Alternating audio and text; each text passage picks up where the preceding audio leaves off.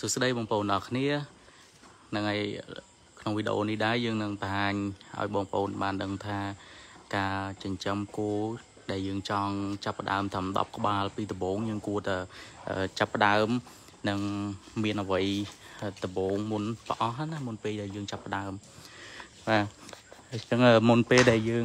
និយាយពីការចាប់ផ្ដើមដំបូងខ្ញុំចង់ឲ្យបងប្អូនបានដឹងថាអឺ នៅនៅនៅខ្លួនយើង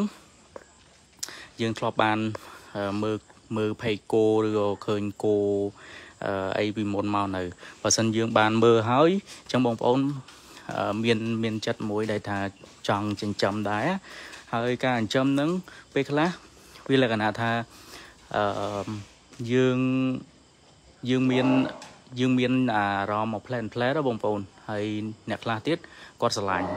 គាត់ស្រឡាញ់ថាគាត់ចង់ចិញ្ចឹមគោដែរអញ្ចឹងមេគោត្រឹម10ក្បាលបើសិនជាយើងចិញ្ចឹមក្នុងករណីមួយថាយើងចិញ្ចឹមមេផែនអឺមួយល្មមមួយល្មមខ្ញុំលើកទឹកចិត្តឲ្យបងប្អូនអាចយកមេគោកាត់ណាហើយវាអស់លុយតិចទៀតអស់លុយតិចហើយថ្ងៃក្រោយពេលដែលវាបានកូនមកយើងលក់វាទៅស្ដាយឯងបើសិនជាយើងយកគោដែលស្អាតស្អាតពេលបានកូនមក យើងរៀងស្ដាយហើយមេប៉ុណ្ណប៉ុណ្នេះបើសិនយើងទិញបានល្អសាច់3ឆ្នាំកូន2ក៏មានដែរបងប្អូនបាទតាហើយក្នុងពេលដែលយើងចាប់ផ្ដើមចិញ្ចឹមហ្នឹងលក្ខណៈថាបងប្អូនចង់ធ្វើដំបងហ្នឹងយើងយើងដាក់ទីតាំងយើងត្រូវរកទីតាំងយើងថាយើងចិញ្ចឹមហ្នឹងយើងដាក់កន្លែងណាសិនបងប្អូនអានេះគោខាង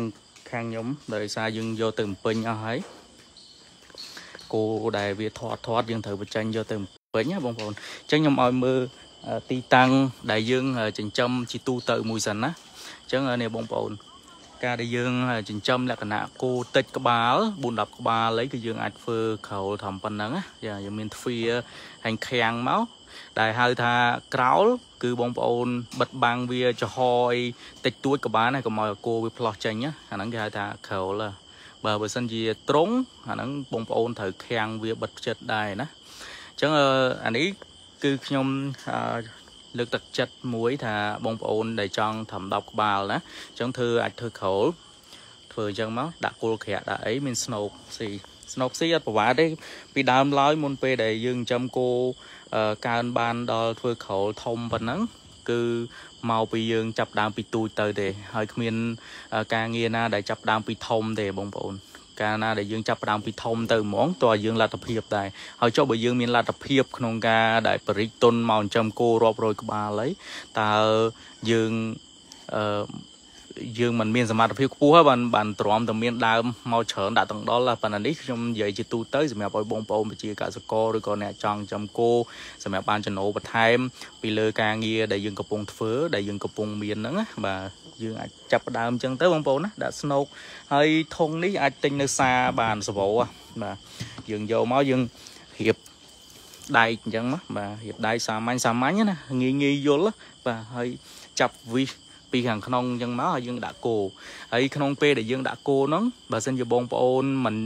មិនសូវចេះចិញ្ចឹមពីដំបូងទៅបាទបងប្អូនអាចទិញមេគោមួយក្រោលណាមួយដែលវាធ្លាប់នៅជុំគ្នាអញ្ចឹងយើងអត់សូវពិបាកក្នុងការចងវាព្រោះមេគោវាបោសវាខុសពីគោឈ្មោលគោឈ្មោលវាស្គាល់គ្នាទៅវាលែងបោសគ្នាហើយប៉ុន្តែគោមេពីច្រើនវាបោសគ្នាដូចអញ្ចឹងដូចក្នុងវីដេអូអញ្ចឹងបាទហើយសម្រាប់ អឺគោដែលយើងចិញ្ចឹមមេនៅក្នុងក្រោលអញ្ចឹងបងប្អូនត្រូវចំហប្រឡោះវា គឺត្រូវតែ1ម៉ែត្រ1ម៉ែត្រគោមួយគោមេមួយបងប្អូន1ម៉ែត្រគោមេមួយវាងាយស្រួលវាងាកចោះងាកឡើងហើយពេលដែលយើងចងខ្សែសំខាន់ជាងគេចិញ្ចឹមមេហ្នឹងគឺនេះវាត្រូវចងខ្សែចងអីហ្នឹងគឺវាអាចដេកទៅក្រោមសាបយើងបានអាហ្នឹងសម្រាប់បងប្អូនចាំដាក់ក្នុងក្រោលហើយតម្រង់នៃការ ធ្វើក្រោលបងប្អូនអឺដូចខ្ញុំបានជំរាបជូនអញ្ចឹងថា1ម៉ែត្រមេគោមួយអញ្ចឹងបើសិនគោយើង10យើងអាចដាក់អឺក្បាលពី10ម៉ែត្រអីទៅឲ្យវារៀងទលាយណាបាទបន្ទាប់មកក្រុមខាងក្រោលគោយើងបើសិនជាយើងពី10 ពី10បដោយទៅក្រោយ6ម៉ែត្រ7ម៉ែត្រហ្នឹងគឺបងប្អូនអាចដាក់ស្នូកចេះមកចាហៀងខាងហ្នឹងមកចាហៀងទៀតទៅខាងក្រោយនោះបាទស៊ីបាន2កន្លះអាហ្នឹងគឺវាអស់លុយតិចហើយយើងធ្វើដបូលមុំមុំអីគឺយើងអាចដាក់គោយើងបានណាបាទហើយបើតម្លៃមេគោវិញអឺបើបងប្អូនដាក់គោដូចខាងខ្ញុំនេះផែនប៉ុនប៉ុណ្ណឹងផែនប៉ុនប៉ុនមេស្នែងមេអីនេះគឺអឺវាអាចមួយត្រឹម3លាន ស្ដើង3លានតិចតួចឬក៏អាចមេខ្លះរៀងស្គមអញ្ចឹងទៅវានៅសល់ត្រឹម3លានអីចឹងណាបាទវាតាមគោដែរតែបើយើងយកគោដែលវាពេញគីឡូស្អាតស្អាតមកស្រាប់គឺខ្ពស់ជាងហ្នឹងណាយើងចំដំបងយើងត្រូវការសន្សំពីតិចតិចទៅបានយើងកើនកើនលុយបានច្រើនបាទបើសិនយើងវឹបឡើងយើងយកល្អត្មងពីណាក៏ចង់បានល្អដែរប៉ុន្តែវឹបឡើងយកល្អគឺ យើងអស់លុយច្រើនតាមនឹងដែរអញ្ចឹងបាទនេះដាក់មេអញ្ចឹងដាក់ឲ្យវារៀងទលាយអញ្ចឹងបងប្អូនពី10ម៉ែត្រឃើញទេដាក់គោឲ្យវាទលាយអញ្ចឹងមកមេយើងប៉ុណ្ប៉ុណ្ណឹងហើយបងប្អូនចាំទៅស្រួលណាអឺលក្ខណៈថាយើងចងឡើងពេលយើងចងខ្សែយើងជាប់ហើយវាឡើងអឺវាឡើងបោគ្នាបានណាបងប្អូនអញ្ចឹងដូចខ្ញុំធ្វើឲ្យមើលហ្នឹងក្រោលធ្វើតម្រង់បែបហ្នឹងធ្វើស្នូកវាអញ្ចឹង ហើយបំពូលនេះអីគឺយើងដាក់កុំឲ្យវាមានមូសអញ្ចឹងណាបាទហើយធ្វើបែបហ្នឹងគឺអស់លុយតិចត្រឹមដើម10000ចុះបាទដើម10000អាចដាក់បានមេ10ឯងបាទដាក់បានមេ10ហើយហ្នឹងយើងគិតទៅលើការធ្វើក្រោលហើយនឹងដាក់គោបាទហើយដល់ពេលការចិញ្ចឹមគោនេះសំជាពិសេសគឺអ្នកចិញ្ចឹមមេគោដឹកយកកូនត្រឹម គោ10ហ្នឹងបងប្អូនត្រូវការដីយ៉ាងហោចណាស់ក៏បានកន្លះហាត់ដែរបាទបើថាយើងដីទូចបងប្អូនសេរីសិនទៅបានដីអឺតាណាម្ដុំអីចឹងទៅយើងគ្រាន់ដាំស្មៅពីព្រោះថាការចិញ្ចឹមគោជាពិសេសការចិញ្ចឹមមេយកកូនបើសិនជាបងប្អូនចិញ្ចឹមទៅអឺយើងទិញចំណីពីខាងក្រៅទិញដើមពោតផ្អាប់ទិញស្មៅផ្អាប់ទិញអីពីគេខាងក្រៅយើងចំរយៈពេលយូរគឺអត់ចំណេញទេ បាទអញ្ចឹងបងប្អូនត្រូវការមានដីកន្លះហាត់ទៅមួយហាត់ទៅដើម្បីយើងអាចដាំបានហើយដីរបស់យើងគឺត្រូវដាំស្មៅហើយពូជស្មៅដូចខ្ញុំបានជំរាបជូនថាមិនមែនចេះតែដាំតាមតាគេប្រាប់ទេបាទដាំស្មៅពូជកសិកម្មក្នុងកសិកម្មមួយណាក៏វាល្អដែរសំខាន់ឲ្យតែបងប្អូនដាំទៅវាត្រូវមួយដីរបស់យើងដែរដូចដីលិចតាក់យើងទៅដាក់ យើងទៅដាក់ស្មៅ king grass ដោះហ៎អត់ដោះហ៎អញ្ចឹងដីរបស់យើងវាល្អដែរយើងដាំស្មៅ king grass វាបានទិន្នផលខ្ពស់ហើយមានគេខ្លះគេថានាពីល្អដាំនាពីទៅសំខាន់គឺយើងយកកុងតយោវាមកផ្អាប់ទៅដែរទេបាទកុងតយោមកផ្អាប់អញ្ចឹងប្រូតេអ៊ីនហើយវីតាមីនវានៅក្នុងផ្អាប់ហ្នឹងហើយអញ្ចឹងយើងខ្វះអីយើងថែមនឹងបានទៀតហើយដល់ពេល ដែលដូចអ្នកខ្លះដីកន្លះហាត់អីចង់ចិញ្ចឹមគោប្រឡែងចង់ចិញ្ចឹមគោមេប្រឡែងហើយដាំស្មៅរុស៊ីអីហ្នឹងអាហ្នឹងគឺអត់អត់កើតទេបងប្អូនដោយសារតែស្មៅរុស៊ីវាតិចស្មៅរុស៊ីវាបានតិចបងប្អូនដល់ពេលយើងដាំប្រឡែងគោជ្រុំបាទស៊ីតែមួយថ្ងៃពីរថ្ងៃហ្នឹងខ្ទេចអស់ហើយកុំឃើញគេឡាយប្រាប់ជូនបងប្អូនថ្ងៃនេះប្រឡែងជាហៀងខាងនេះថ្ងៃនេះប្រឡែងជាហៀងខាងនេះខ្ញុំឈប់ ពីកន្លែងការងារដោះបោះចោលបោះចោលអាវល្អបោះចោលម៉ាស៊ីនត្រជាក់បោះអីហើយទៅទៅមើលគោទៅអីហ្នឹងបាទมันมันខ្ញុំមិនគ្រប់ត្រឲ្យបងប្អូនបោះចោលអញ្ចឹងទេបាទយើងមានតែធ្វើការមុខរបរយើងមានហើយយើងមានតែរកចំណូលបន្ថែមមានពីណាគេទៅបោះចោលមួយទេបាទគេគេមានតែចាប់ទាំងពីរយើងយើងចាប់ចាប់មួយបោះចោលមួយមិនកើតបងប្អូនបាទអញ្ចឹងណាដល់ពេលបងប្អូនមានដី កន្លះហាត់ទៅមួយហាត់នឹងហើយពេលដែលបងប្អូនដាំស្មៅខ្ញុំឧទាហរណ៍មួយថាស្មៅ King Grass បងប្អូនដាំបានអញ្ចឹងបងប្អូនច្រូតវាម្ដងយកវាទៅផ្អាប់ដាក់បេទាំងអស់ទៅដាក់បេផ្អាប់បានដាក់បេព្រោះស្មៅនេះមួយខែកន្លះបើយើងទឹកអឺដូចថាខែប្រាំងអឺខែវស្សាវិញខែវស្សាវាសម្បូរទឹកភ្លៀងវិញគឺឆាប់បោះត្រឹមតែ មួយខែកន្លះឬក៏50ថ្ងៃហ្នឹងគឺដោះបានខ្ពស់ខ្ពស់សឹងតែ2ម៉ែត្របងប្អូនអញ្ចឹងស្មៅហ្នឹងខ្ញុំចិញ្ចឹមគោឡើង2 3ឆ្នាំហ្នឹងហើយខ្ញុំឲ្យតែស៊ីស្មៅហ្នឹងហើយមិនឃើញគោខ្ញុំទៅណាផងខ្ញុំចិញ្ចឹមមេយកកូនខ្ញុំបានកូនកោលក់មកកណោប៉ុន្តែគ្រាន់តែអ្នកខ្លះទៅអាខមមិនចិត្តថាបងគោស្គរម៉េះអូបងចេះអីម៉េះប៉ុន្តែខ្ញុំព្យាយាមប្រាប់នៅក្នុងវីដេអូដែរប៉ុន្តែគ្រាន់តែគេស្ដាប់វាមិនទាន់អស់ណាបាទអញ្ចឹងអឺ បងប្អូនចំណាំទៅ អ្នកដែលចិញ្ចឹមគោកើនបានចំណេញច្រើនពីច្រើនគេណៃយកមូលមូលមកស្រាប់ទេគេណៃយកគោចំណៃយកមកដាក់ចិញ្ចឹមត្មងទេវាអត់សូវចំណេញយើងយកអារៀងស្រាំងសាច់យកមកដាក់ក្នុងក្រោលយើងទៅមើលថែវាគង់តឡើងសាច់ដូចគ្នាទេបាទគ្រាន់តែមុនហេងក្រោយហើយអាបើបើចិញ្ចឹមគោសម្រាប់តើយកល្អមើលអាហ្នឹងទុកឲ្យគាត់ចិញ្ចឹមទៅ បាទបើបើខាងខ្ញុំបាទវិញគឺអត់មានចិញ្ចឹមគោសម្រាប់ល្អមើលទេគឺចិញ្ចឹមសម្រាប់លក់លក់បានចំណេញចំណេញបានជីវភាពល្អប្រសើរជីវភាពល្អប្រសើរធ្វើឲ្យគ្រួសារយើងវារស់នៅជុំគ្នាទៅវាបានសុខបានសានណាបាទពេលខ្លះយើងក្នុងនាមជាមនុស្សប្រុសបើសិនយើងធ្វើអីមួយអត់អត់អត់ដាច់ហើយយើងធ្វើទៅចេះតែប្រយោប្រយោវាវាអាគេមើលមកក៏វាមិនល្អដែរហ្នឹងណាអញ្ចឹងបងប្អូនទាំងអស់គ្នាយើងអាចដាក់គុំខ្វល់មួយមួយពាក្យគេចិត្តខ្លួនយើងពេកពេលខ្លះអ្នកនិយាយចេះតែនិយាយទៅពេលយើងធ្វើយើងយើងធ្វើថាអាណាយើងចំណេញយើងធ្វើហើយអឺពេលដែលយើងធ្វើក្រោលធ្វើក្រោលហើយយើងទិញគោណាយើងមានគោនៅក្នុងក្រោលយើង10ក្បាលហើយយើងតម្រូវទុកហើយប៉ុន្តែមុនពេលដែលបងប្អូនទិញគោចូលខ្ញុំលើកទឹកចិត្តមួយថាបងប្អូនត្រូវតែធ្វើក្រោលឲ្យរួចសិន ណាធ្វើក្រោលមានក្រោលមិនទៅពេលមានក្រោលហ្នឹងយើងត្រូវដាំស្មៅឲ្យមានប្រភពចំណីសិនព្រោះខាការដែលយើងមានប្រភពចំណីហ្នឹងគឺវាសំខាន់ណាព្រោះគោយកមកដាក់ក្នុងក្រោលគឺត្រូវការស៊ីចំណីហ្នឹងហើយបើយើងអត់មានចកាអានេះករណីខ្ញុំនិយាយទៅលើការចិញ្ចឹមគោនៅក្នុងក្រោលសិនអញ្ចឹងបងប្អូនត្រូវដាំស្មៅឲ្យបានដោះមួយសាហើយយើងយកផ្អាប់ម្ដងសិនផ្អាប់ម្ដងហើយចាំយើងអឺ ចាំពេលពេលយើងផ្អាប់ហើយឲ្យវាដោះមកចោលមួយសាថ្មីទៅយើងទិញគោដើត្រឹមមេ10ក្បាលស៊ីអឺមួយថ្ងៃទៅ 4B 4B ស្មៅហ្នឹងហួសហួសឡើងអើងអើយបងប្អូនណាស្មៅត្រឹម 4B ហើយចម្រើង2ដុំបាទ2 3ដុំអីចឹងទៅវាយើងចង់ឲ្យវាធាត់ណាបើថាបងប្អូនចំទូទៅដូចខ្ញុំចេះទេកូនគោកើតមួយខែ3មេ50ក្បាល អាហ្នឹង50ក្បាលផងចោះទ្រាំទៅដូចកសិដ្ឋានគេលេងមេសិត200ក្បាលអីនោះកូនគោកើតវិលជុំមកបងប្អូនហើយកូនគោកើតកើតមកលុយហ្មងបាទកើតមកយើងចំទៅបានលុយហ្មងព្រោះអាហ្នឹងយើងអត់ទិញគេផងយើងមានចំណាយដើមទិញគេបាទអញ្ចឹងយើងយើងដាំស្មៅបានហើយយើងផ្អាប់ស្មៅទុកមួយសាសិនហើយក្រោយយើងរួចយើងទិញប្រភពអឺទិញគោចូលហើយការដែលយើងទិញ គោចូលយើងរើសមើលទៅអត់ខ្វះទេអ្នកលក់គោមួយកណោហើយ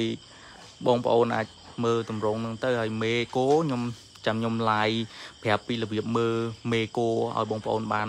ដឹងថាគេទិញគោចូលគេត្រូវមើលអីខ្លះណា គេត្រូវមើលអីខ្លះបន្ទាប់មកទៀតខ្ញុំនឹងធ្វើវីដេអូឲ្យបងប្អូនបានដឹងថាអូហេតុអីបានជាយើងត្រូវទិញគោស្គមមកចិញ្ចឹមពេលដំបូងហើយហេតុអីមិនយើងយកគោរៀងធាត់ត្មងទៅអីមិនទៅវាមូលហេតុវាសិតតែមានបាទមូលហេតុសិតតែមានហើយយើងកើនគោវាសិតតែមានអាកលឹះបន្តិចបន្តិចតិចដែលយើងអត់បានដឹងបាទបើបងប្អូនបានដឹងហើយក៏ដឹងទៅបាទយើងមិនទាន់បានដឹងទេយើងមើលមើលអាចមើលខ្ញុំចែករំលែកទៅបាទហើយ បងប្អូន ពេលដែលយើងចិញ្ចឹមមេយកកូនហ្នឹងយើងយើងយើងត្រូវរៀនពីវាទៅអឺបងប្អូនអាចមើលថាពេលគោរោឈ្មោលហ្នឹងយ៉ាងម៉េចពេលគោត្រូវដាក់បាហ្នឹងដាក់យ៉ាងម៉េចអីយ៉ាងម៉េចយកទៅណាពីណាទៅមុនអីមុនអញ្ចឹងទៅអាហ្នឹងវាជាបទពិសោធន៍របស់យើងយើងរៀនសូត្រតាមក្រោយបានទេបាទវាមិនមែនតល់តែយើងអឺចេះធ្វើឡើងតើអញធ្លាប់មើលគោពីក្មេងមកអូ តើតែជួលគេត្មងបាទអត់ទេហើយថាមេគោ10ក្បាលទៅ20ក្បាលអីនេះបើបងប្អូនជួលគេមកមើលវិញយើងអត់ចំណេញទេបងប្អូនបាទយើងចំណេញបានតិចតួចអញ្ចឹងវាអត់សាក់មកមូជាមួយនឹងចំណូលរបស់យើងដោយសារគោយ៉ាងហោចណា10ទៅ20ក្បាលមេគោវាត្រូវចំណាយពេល2ឆ្នាំបានបានយើងបានចំណូលមកវិញ ប៉ុន្តែករណីបងប្អូនខ្លះគាត់ខ្វះដើមទុនគាត់ចង់បានចំណូលមកវិញបដាបដាក្នុងពេលដែលយើងចិញ្ចឹមហ្នឹងតើតើបងប្អូនទិញមេជាប់កូនយកយកទៅចិញ្ចឹមតែហ្មងមេជាប់កូនណាបងប្អូនទិញមិននឹមត្រឹម5លានឬក៏ក្រោម5លានឬក៏បងប្អូនចង់បានមេរៀងស្អាតទៅយើងយករៀងចូលក្បែរ6លានអីចឹងអាហ្នឹងគឺវាបានមកស្អាតហើយយើងយកទៅចិញ្ចឹមទៅដូចគេដូចឯងវាវាលក្ខណៈថា យើងយើងទិញគោបងប្អូនទៅទិញគោអ្នកចេះមើលគោអ្នកស្រុកភូមិបងប្អូនពេលខ្លះអត់ចេះមើលគោអត់អីគេមកគោនឹងចេះអីចេះហើយមាត់មនុស្សចេះតែផ្អាប់នឹងតែកំមមានអ្នកចេះលើកទឹកចិត្តបើសិនជាមនុស្សហ្នឹងគាត់ចេះលើកទឹកចិត្តគេជុំវិញខ្លួនគេចូលចិត្តច្រើនណាបាទហើយមនុស្សដែលលើកទឹកចិត្តគេហ្នឹងក៏មិនសូវជាអ្នកដែលចង់ដឹងរឿងគេដែរបាទពីច្រើននឹងហើយហើយហើយបើសិនជាបងប្អូនដាក់គោផែនប៉ិនខ្ញុំនេះ បងប្អូនត្រូវបើកចិត្តឲ្យទលាយទទួលយកអ្នកចិត្តខាងនិយាយតិទៀនទៅពីព្រោះថាការដែលខ្ញុំដាក់ពីដំបូងមកក៏គេតិទៀនខ្ញុំដែរហើយមិនទន្ទឹមពេលដែលគេតិទៀនមកដល់ឥឡូវនេះខ្ញុំខលគោមើលមើលយើងធ្វើឡើងរីចម្រើនបានប៉ុណ្ណឹងហើយអត់មានត្រូវខ្វះអីទៀតទេរាល់ថ្ងៃនេះ ទោះទីផ្សារធ្លាក់ក៏ធ្លាក់ទៅឡើងក៏ឡើងទៅពីព្រោះថាខ្ញុំមិនមានត្រូវដាក់អឺចំណៃអីច្រើនទេណោចំណៃស៊ីតែមួយត្រង់នោះទេគោឈ្មោលឈ្មោលអាណាធាត់ធាត់ដឹកយកទៅលក់អស់ហើយអញ្ចឹងនៅសល់តែមេមេយើងចំក្នុងក្រោលយើងទៅហើយមួយឆ្នាំទៀតក៏យើងអាចលក់បានយើងអត់សូវភ័យរឿងទីផ្សារអញ្ចឹងមេគោពេលខ្លះអឺបើបើសិនយើងមានស្មៅគ្រប់គ្រាន់វិញបងប្អូនមិនបាច់សូវខ្វល់ពី អ្នកទិញក៏បានដែរយើងលក្ខណៈថាពេលណាយើងលក់ក៏បានដែរបាទរួចដល់ពេលយើងចិញ្ចឹមបាន យើងយកទៅលក់នៅណាចាំពេលបងប្អូនមានផលិតផលមួយហ្នឹងយើងនឹងដឹងថា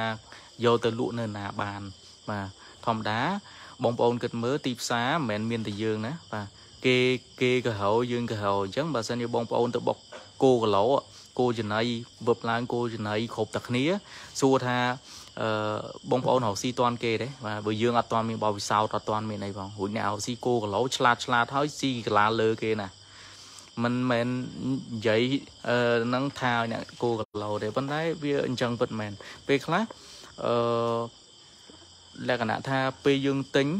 ទិញមកយើងយកចិញ្ចឹមចិញ្ចឹមហើយយើងត្រូវអឺឲ្យស៊ីចំណីឲ្យអីចឹងទៅស្រាប់តែគេមកទិញជួនកាលគេប្រអាប់របស់យើងទៅ គេប្រអាប់របស់យើង ចេះមួយចុះពីរហើយទាំងដែលយើងខំចិញ្ចឹមឡើងយូរឡើងអីចឹងណាបងប្អូនបាទដូច្នេះបងប្អូនត្រូវទទួលយកអាទាំងអស់ហ្នឹងហើយយើងអាចចិញ្ចឹមគោក្នុងក្រោលនេះ មានតែប៉ុណ្្នឹងទេបងប្អូនអឺដំបូងគឺយើងធ្វើក្រោលបដា ហើយយើងត្រូវដាំស្មៅដាំស្មៅបានយើងផ្អាប់ទៅផ្អាប់បានស្មៅនឹងមួយវគ្គហើយចាំយើងទិញគោចូលហើយពេលដែលទិញគោចូលហ្នឹងចាំយើងអឺអំឡុងពេលត្រូវទិញត្រូវអីហ្នឹងយើងសិក្សាថាគោមើលរបៀបម៉េចគោកូនប្រមាណដងគេមើលម៉េចនេះដូចមេនេះអីកូនកូនកលៈគេមើលកលៈស្នែងវាចាបងប្អូន1 2 3 4ណាកូន4ណាអញ្ចឹងមេដែលបងប្អូនចង់ដឹកបានយូរឆ្នាំ តើតើយើងយកមេត្រឹមកូនម្ដងឬក៏កូនត្រឹម2ដងឯងបាទគោសម័យឥឡូវនេះត្រឹមកូន5ហ្នឹងគឺចាប់ដើមចាស់ប៉ុន្តែមេគោខ្លះបើសិនជាថ្មិញវាអត់តន់បាក់ទេយើងគួរតែបន្តចិញ្ចឹមអ្នកខ្លះគេប្រពីនេះប្រាប់ជូនបងប្អូនគេថាមេគោកូន5គាត់លើ5ថាមេចាស់តាមពិតមិនមែនទេណាបងប្អូនគោពេលខ្លះកូន5ហ្នឹងប៉ុន្តែថ្មិញវានៅល្អវានៅតែពីអៀងហើយវានៅតែពីច្បាំងដាច់អាហ្នឹងគឺមេហ្នឹងល្អណា មេហ្នឹងយើងអាចដឹកបានបន្តទៀតបានមិនមែនដូចអឺបងប្អូនគាត់នៅលឺថាអូកូន5ចាស់មែនទេគោខ្លះកូនតែម្ដងជ្រូថ្មិញអស់ក៏មានណាបាទហើយថ្មិញគោតិចច្រឡំទៅមើលថ្មិញខាងលើអីបាទមើលថ្មិញខាងក្រោមបាទមើលថ្មិញខាងក្រោមថាវាបាក់នៅបាទដូចតែមនុស្សយើងដែរអញ្ចឹងហើយកូនគោ9ខែ10ថ្ងៃអញ្ចឹងបងប្អូនចិញ្ចឹមមេយកកូនដូចខាងខ្ញុំនេះត្រៀមចិត្តត្រៀមកាយក្នុងការ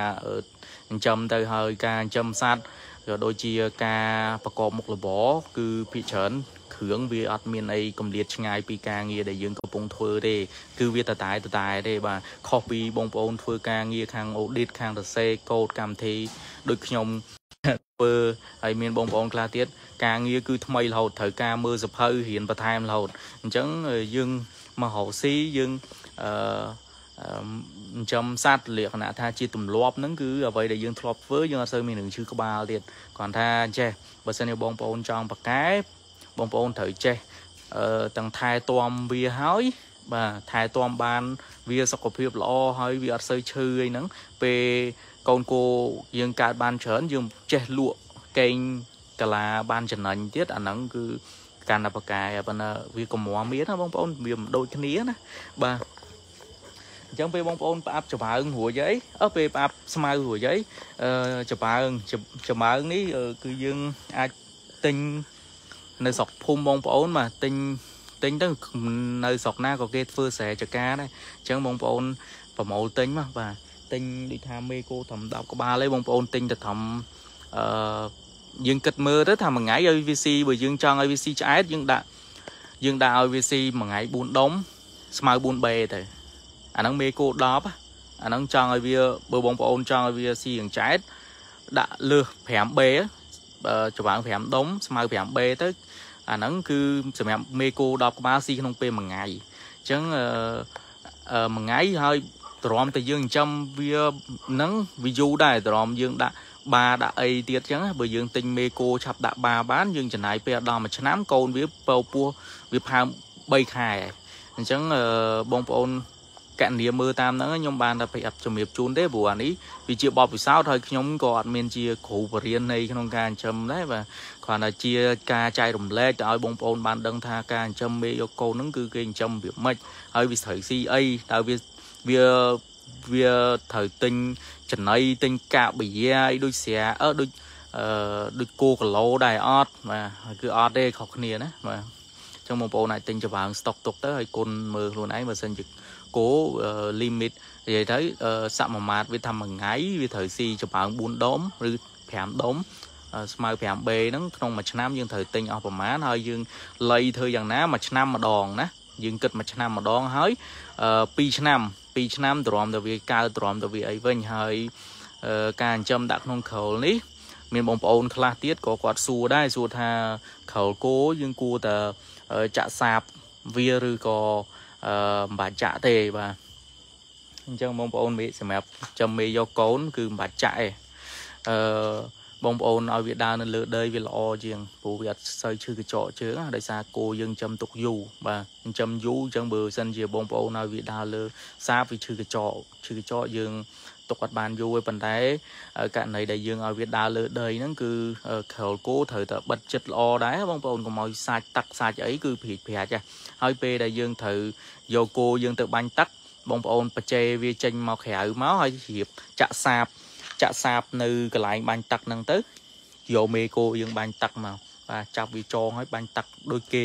ចិញ្ចឹមគោពូជ5ម៉ាន់នៅថៃបងប្អូនគឺយកវាទៅចងនៅលបងបាទ ដូចបងប្អូនធ្វើដូចដូចយើងចេះក៏បានដែរយើងយើង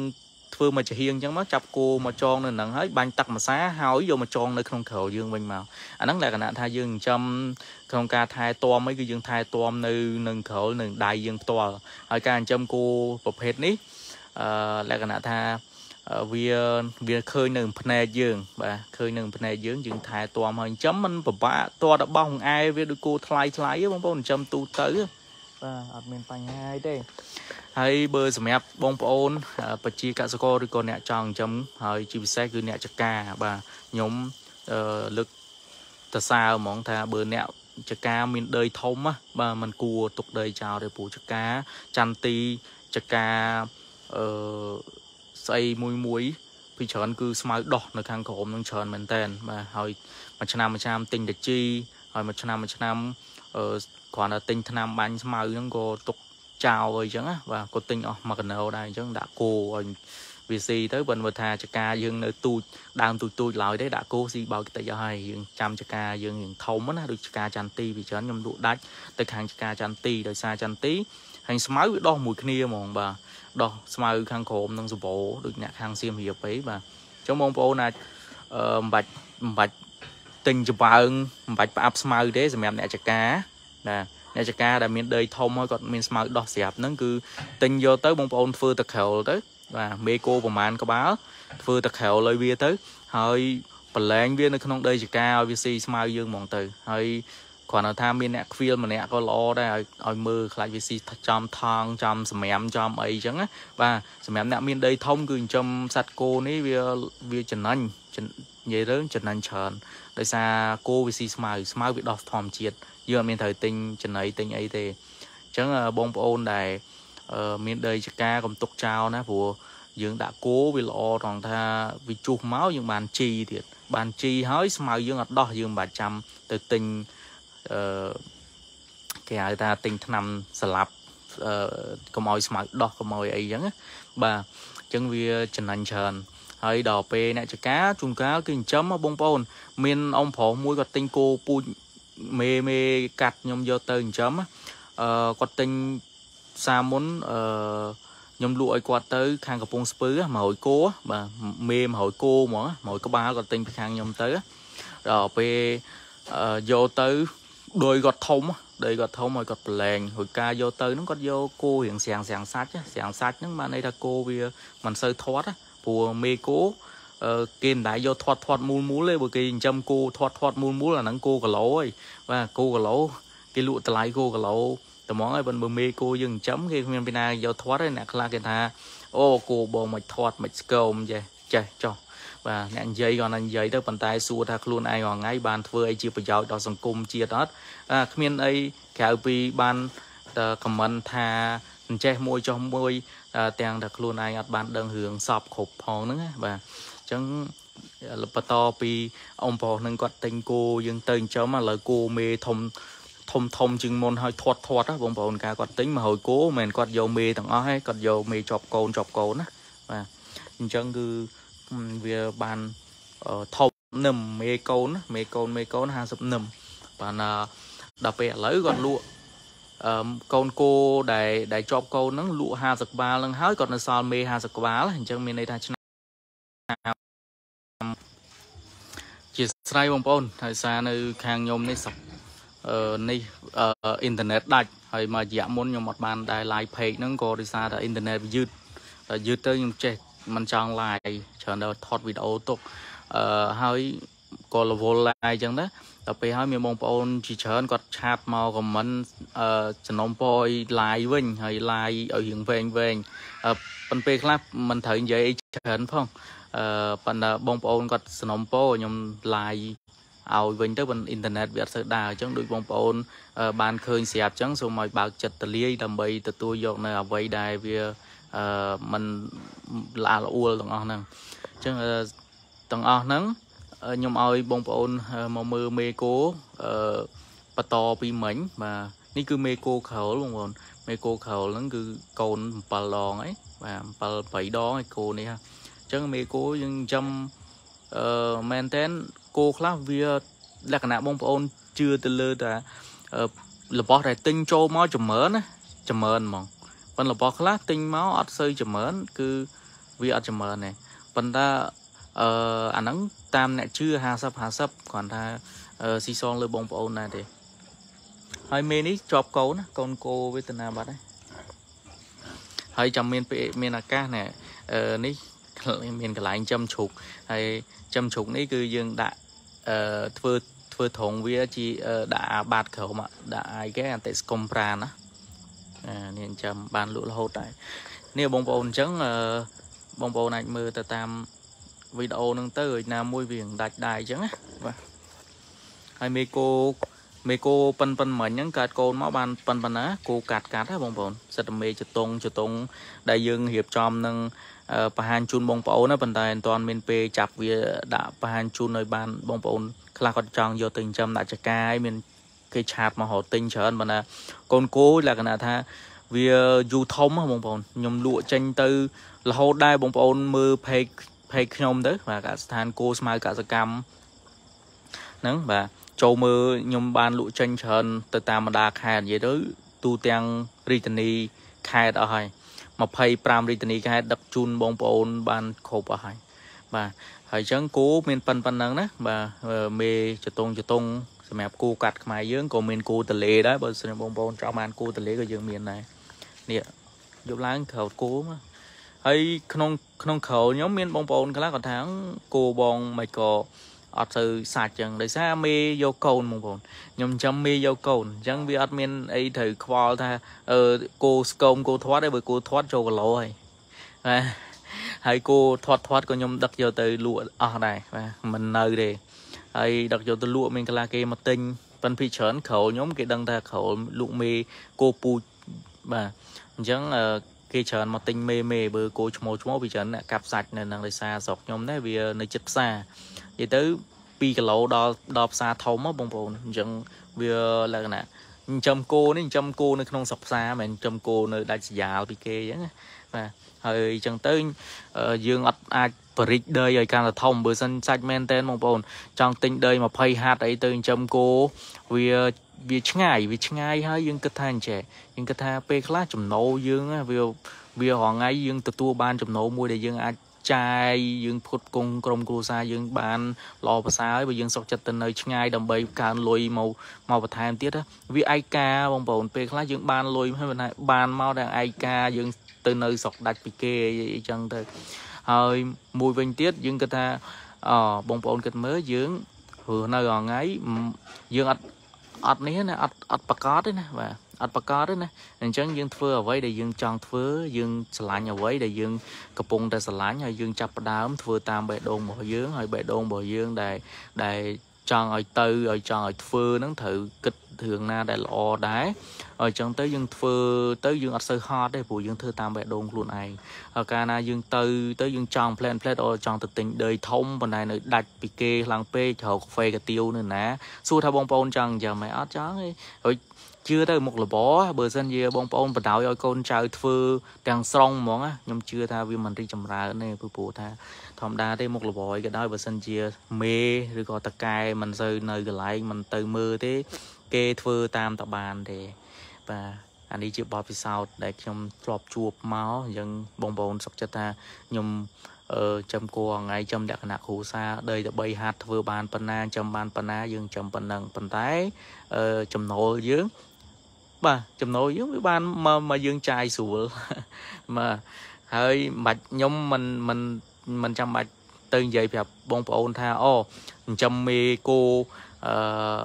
100ក្បាលចំណេញ7 7 80000ដុល្លារក្នុងមួយឆ្នាំមកចាំជំរាបជូនបងប្អូនអញ្ចឹងឯងពេលបងប្អូនធ្វើទៅដឹងខ្លួនឯងហើយប៉ុន្តែគាត់ថា